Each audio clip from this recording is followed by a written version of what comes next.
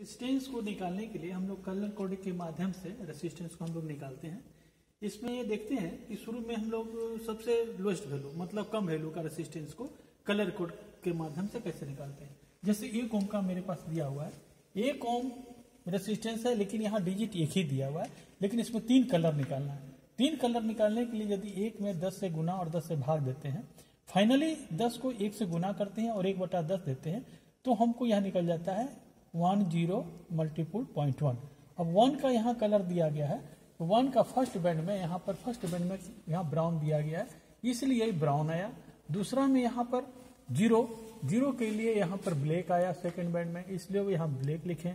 और third band में यहाँ गोल्डन आया, इसलिए गोल्डन दिए। इसलिए फाइनली एक ओम का वैल्यू हमको इस प्रकार से मिलेगा।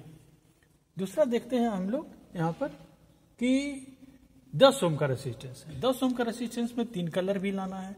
इसलिए मल्टीपल वन कर दिए। वन कर दिए तो हमको तीन कलर मिल गया। पहला का वन ब्राउन के रूप में यहाँ पर आया। फ़र्स्ट में यहाँ ब्राउन होता है। फ़र्स्ट बैंड में यहाँ। दूसरा क्या है? ब्लैक है। तो सेकेंड बैंड में ब्लैक आ गया। ज़ीरो तीसरा में हमको वन है। तो वन थर्ड बैंड में आया। तो ब्लैक के सामने थर्ड बैंड में यहाँ पर ब्लैक आया। इसलिए दस ओम यहाँ पर आया। तो इस प्रकार सारे रेसिस्टेंस का वैल्यू को हम लोग निकालते हैं। ये सारे वैल्यू को निकालते हैं, ये सेकेंड पेज में, ये सेकेंड पार्ट में आपको मैं बताऊँगा।